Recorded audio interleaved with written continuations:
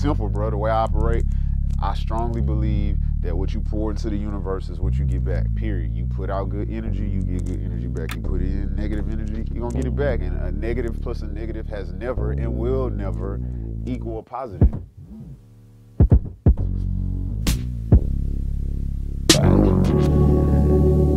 Cause I'm about to give it to you all night.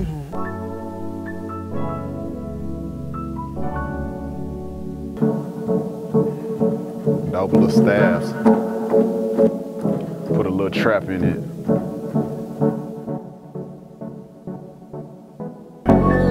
This smoke feel like pretty and trappy at the same time. Yeah.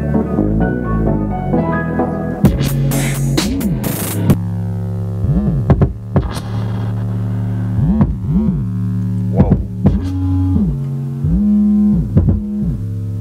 You know how boys on the west side be like, hello? Who, who came up with that? Hello? No idea. You know what I'm talking about, dog? Hello. Hello. Boom. Hello. Girl, I love the way your body talk to me. I love the way your body talk. Hello. Hello. Hello. Hello. Hello. Hello. Hello. I be like, hello. Hello. Hello. Hello. Hello. Hello.